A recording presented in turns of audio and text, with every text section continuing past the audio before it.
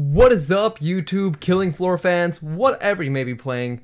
Uh, my name is TTGL Rikusen, and I may actually have a solution for you. This is for Killing Floor 2, and this is more so if the game doesn't run at all. If you have that splash screen there, I don't know what to do about that, but this should get you up and running.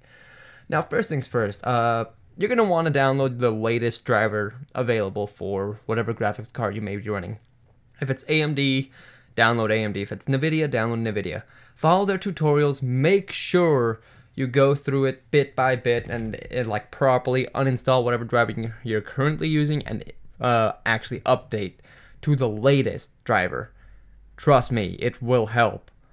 If for some odd, if for some odd reason the most stable driver doesn't work, download the betas.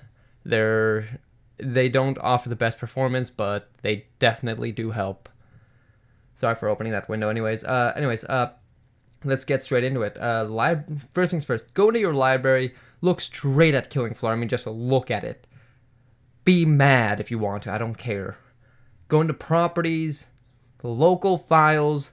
You can verify your the integrity of your game cache, but chances are you have it installed perfectly fine and you're just having problems with it. Go up to browse local files. Go into there. From there, I want you to go into your common redistri- uh, redist folder.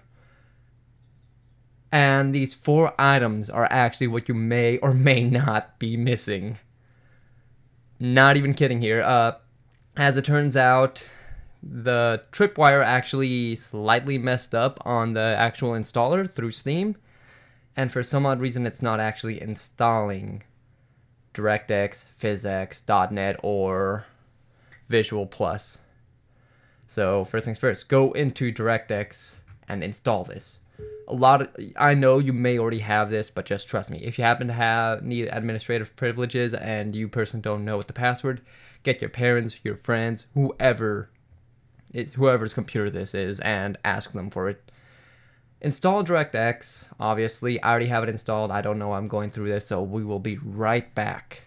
Alright, so we are back. Uh, DirectX is installed, running everything. Or, or not running, but it's installed. Wow, I missed that click. From there, once you install DirectX, hop all the way back, install .NET. Yes, I know it's .NET 3.5. Chances are you're running either .NET 4 or .NET 4.5, which by that point you really don't need to worry about this, but I still recommend double-clicking it, making sure it opens. Yes, it's just going to extract the folders. Won't really do much else. That's perfectly fine. I'm all it is is just putting the files where they're supposed to be. Go back, go over to PhysX, and once again do the exact same thing. The thing. So you can tell I already have it. Now I'm pretty sure this is probably one of the main reasons as to why the game isn't running is because well PhysX is missing and the game's freaking out about that.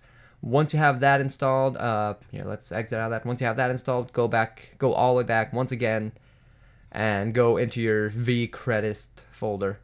Install whatever maybe you may have to run. Uh, if you're running a 32-bit operating system, you only need x86. If you have a 64-bit operating system, go right, ahead, uh, right on ahead and install both of these. It will help. It will do wonders for you, actually. Chances are, oh whoops, chances are you actually already have them installed. I recommend going ahead and clicking repair on both of them. Why? It's better to be safe than sorry in all honesty. So yeah, I already have that installed. From there, uh, once again, make sure you have the proper drivers, the most up-to-date drivers. I don't care if they may or may not be beta. Make sure that you have the proper drivers because it will save you so much trouble. And if all else fails and for some odd reason that doesn't work, launch options. Oh my god, these things are amazing. Uh, go right in and type exactly what I have right there, dash DX10. Trust me, you, like you, whoops, just type that in, hit OK. Uh, whoops, why the heck did all that? Oh, that's right, because I'm stupid. Anyways, go back, click close, and guess what? You should be in business this time. So yeah. So yeah, uh, once you have that entire thing set up, you can just go ahead and kind of like set everything up. I mean, look at this. Look at this beauty. Actually, I don't think you can actually. So yeah, once all that's done, the game will be running. Uh, if you happen to have for some odd, if you for some odd reason have a driver crash, like I said, update, update, update, update. It's always nice to keep your system up to date. Yeah, not all updates work, but it is wonderful to keep it up to date. So yeah, this is TTGL Rikusen signing off. Thank you, everybody.